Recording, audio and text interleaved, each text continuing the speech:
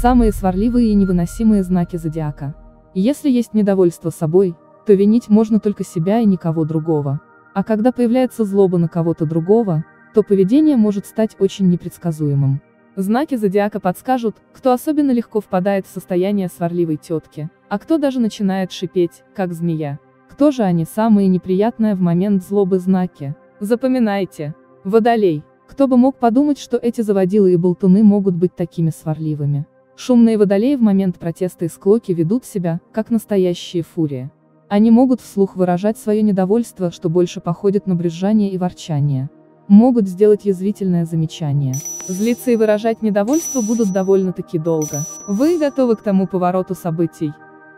Овен не будет сдерживать эмоции, а выплеснет все сразу вплоть до истеричного крика. Зато потом быстро отходит и может даже простить обидчика, если тот будет слезно об этом просить.